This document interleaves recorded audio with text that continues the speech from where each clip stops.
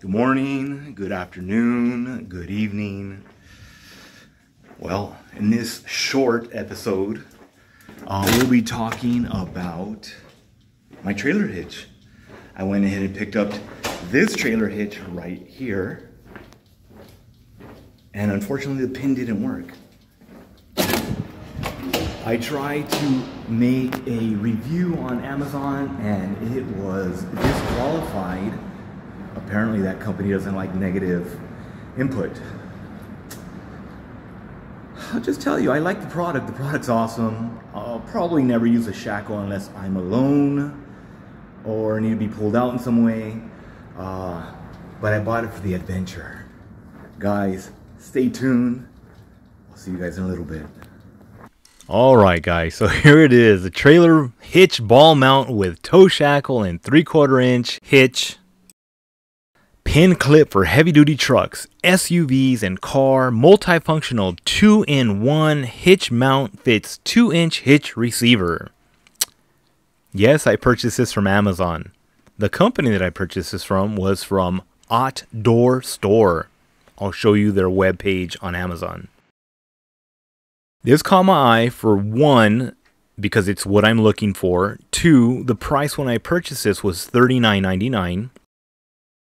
I do have Prime. I'm also an associate. My code is always in the description. I like that it had a shackle. Reason being is because if I go out with friends and I get stuck, there's shackle points in the front of my vehicle and the rear now that uh, if we need a little leverage and we need to rig something up, I can get pulled out a little bit easier. Going over some of the stats, unique design ball hitch with hook is what it's called. Three quarter inch D ring shackle. Again, that was a, a selling point for me.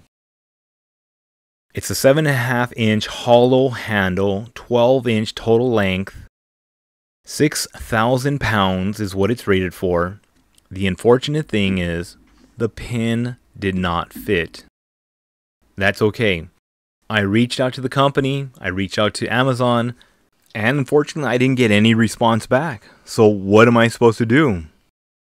I went to Walmart and I found this. It is called the Baja Road Collection Locking Hitch Pin. Look at this, guys. It was a little pricey, but I'm okay with it as long as it fixed the problem for my needs. It's four inches, whereas I don't know what this one was like two and a half, something like that. Oh, watch out for that bee guy. Oh, bee. Oh, anyways, here we go. It was 2372 with tax 2597. It came with good looking barrel locks. I like that. Not, not like the other keys. Again, I'm going to keep the other hitch pin, but whatever. Oh, oh, oh watch out. Oh, the beat.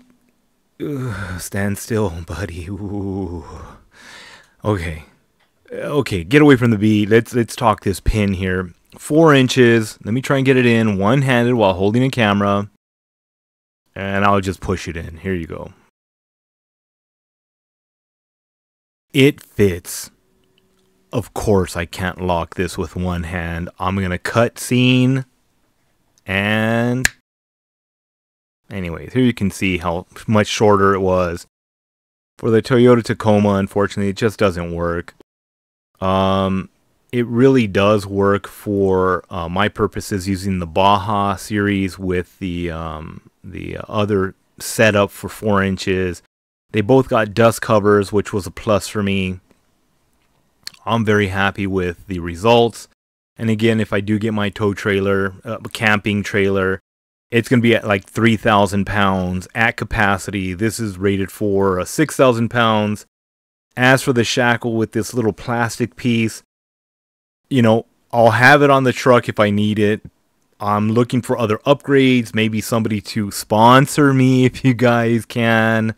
Hit me up. But that's going to do it for this short. I'm happy. I hope you guys are happy.